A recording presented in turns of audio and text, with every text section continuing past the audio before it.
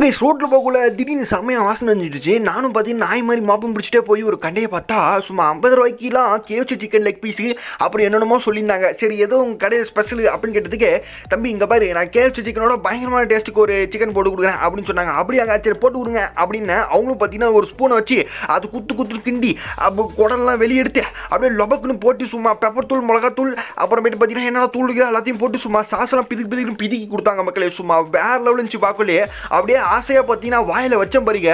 அந்த எண்ணெயில் பிடிச்சி அப்படியே கொடுத்தனால சரியான சுடி. அப்புறம் சும்மா உஃப் உஃப்னு ஊதி சும்மா வாயில் சாப்பிட்டேன் பாருங்க. அப்படியே என்ன ஒரு டேஸ்ட்டி உண்மையாக சொல்கிறேன் கேவச்சு சிக்கனோட இது பயங்கரமாக டேஸ்ட்டாக இருந்துச்சு. அது மட்டும் இல்லாமல் உங்களுக்கு இது எத்தனை பேருக்கு பிடிக்குன்னு கீழே கமெண்ட் பண்ணுங்க. அப்புறம் இன்னும் நாங்கள் நிறைய ட்ரை பண்ணோம் நல்லா தான் இருந்துச்சு.